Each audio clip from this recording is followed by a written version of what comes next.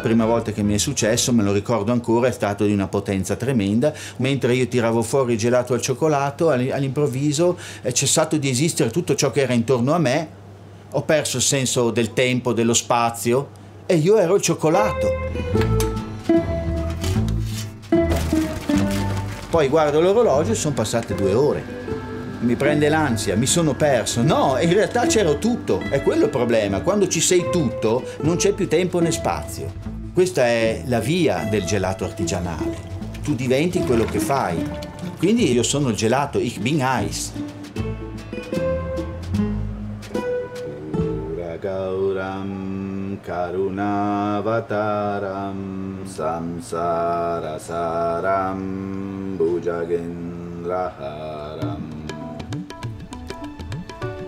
Bhujagendraharam gusto è un aspetto essenziale. Se io non ti do un'eccellente varietà di frutta maturata al momento giusto, posso venirti a raccontare che c'è dentro la frutta, sì, però non si sente il sapore. Lavorare nel posto, avere le fragole di Schlinig, avere i lamponi del Parcillerov, avere il latte della latteria di Dobbiaco, anche lì c'è una ricerca. La qualità degli ingredienti è essenziale, non si può prescindere.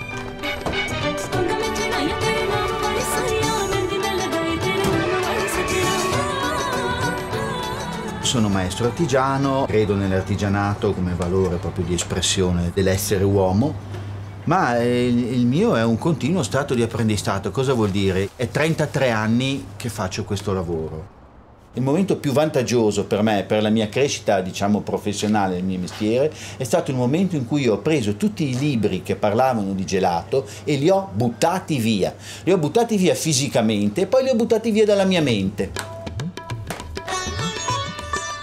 Adesso prepariamo un gusto che ho chiamato Bombay Dream, una preparazione di stile indiano. Eh, la ottengo cucinando il riso basmati, che è il riso tipico del nord dell'India, insieme a cocco, cannella, cardamomo, anice e finocchio in semi, un po' di cannella macinata, un po' di vaniglia, eh, pepe, io uso una varietà del Sarawak, e olio essenziale di rosa bulgara.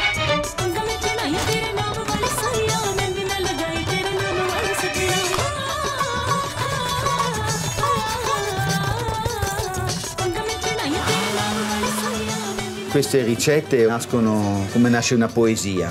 Quando la poesia viene, viene da sé e tu sei in uno stato di agitazione, eh, mi capita di scrivere, no? Devi avere una penna e devi scrivere. Straordinariamente quello che tu vuoi scrivere è già nella sua versione definitiva.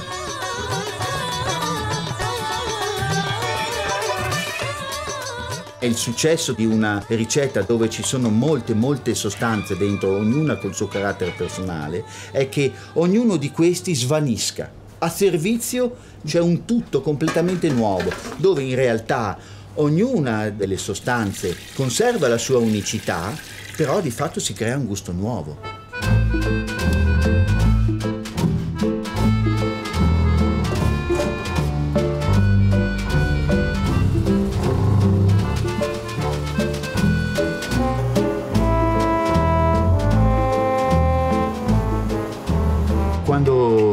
Pensiamo per esempio al latte, no?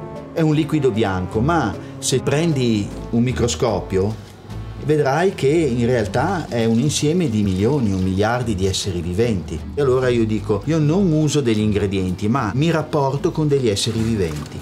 Questo cambia la prospettiva di quello che tu stai facendo.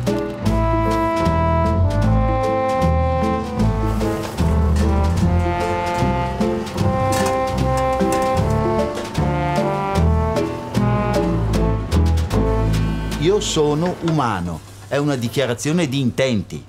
In un momento storico in cui l'uomo viene sempre più ridotto a fare delle operazioni sempre più automatiche, mi rendo conto sempre di più che ho scelto un'altra cosa.